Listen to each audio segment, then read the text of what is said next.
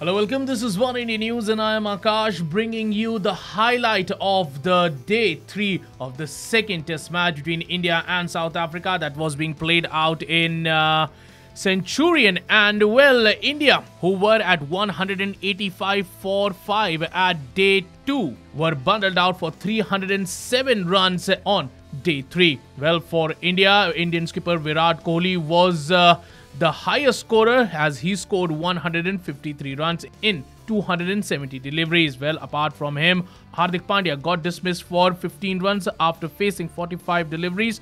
Ravi Ashwin uh, played really well and he scored 38 runs on 54 deliveries with the help of 7 runs. Mohammad Shami was out on 1 run. Ishant Sharma was out on 3 runs after facing 20 deliveries. So, so India, who were chasing down a target of 335 runs, set by South Africa were all out for 307 runs. And as far as the bowling for South Africa goes, Keshav Maharaj bowled 20 overs and he gave 67 run and picked up one wicket.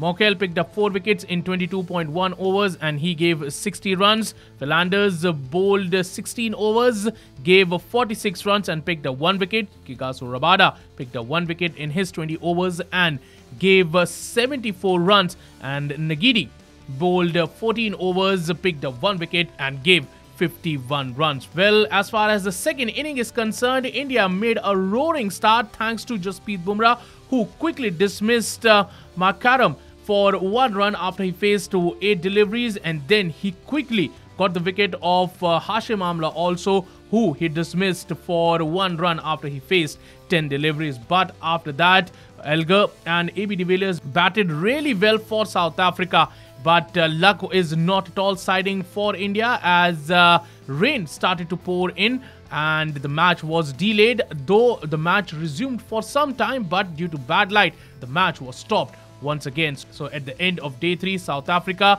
is batting with Elgar and AB de Villiers both at crease and uh, they have scored 90 runs at the loss of two wickets. Well, as far as Indian bowling on uh, day 3 is concerned, Ravi Ashwin was used the most by Indian skipper as he bowled 12 overs and gave 33 runs. Just Bumrah was the only wicket taker as he gave 30 runs in his 8 overs. Ishant Sharma bowled 4 overs, he gave 14 runs and Mohammad Shami he uh, bowled 5 overs and he gave 12 runs. So as far as day number 3 is concerned, India were all out for 307 as they were chasing South Africa's uh, target of 335 runs and batting in the second innings. South Africa lost 2 wickets and have put up 90 runs on the scoreboard and are leading by 118 runs and have 8 wickets remaining.